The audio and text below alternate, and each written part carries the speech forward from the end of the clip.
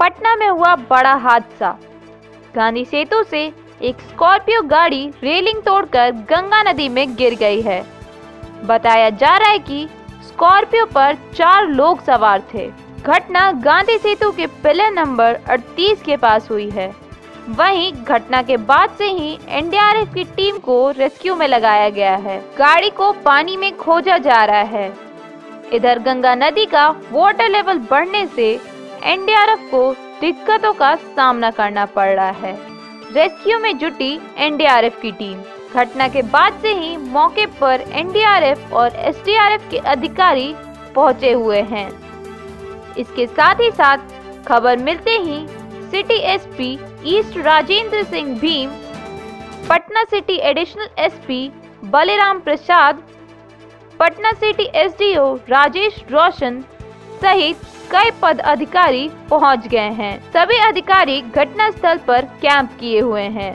घटना आलमगंज थाना क्षेत्र के महात्मा गांधी सेतु इलाके की है, जहाँ महात्मा गांधी सेतु के पाया संख्या 38 का रेलिंग तोड़कर ये गाड़ी बीच गंगा में जा गिरी।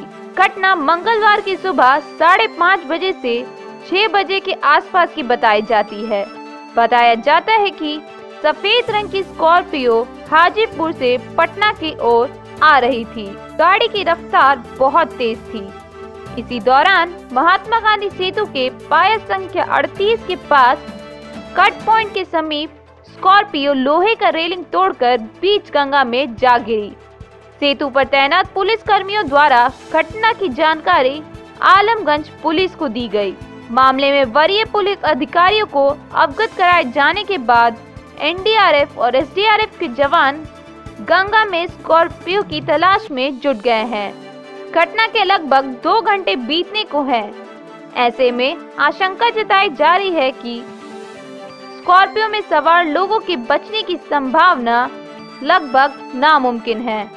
फ़िलहाल एसडीआरएफ के जवान गंगा में डूबी गाड़ी और स्कॉर्पियो में सवार लोगों के तलाश में जुटे हैं। अगर आप इस वीडियो को फेसबुक पर देख रहे हैं तो हमारे पेज को लाइक करें। अगर आप इस वीडियो को यूट्यूब पर देख रहे हैं तो हमारे चैनल को सब्सक्राइब करें। पटना से बिहार प्लस की रिपोर्ट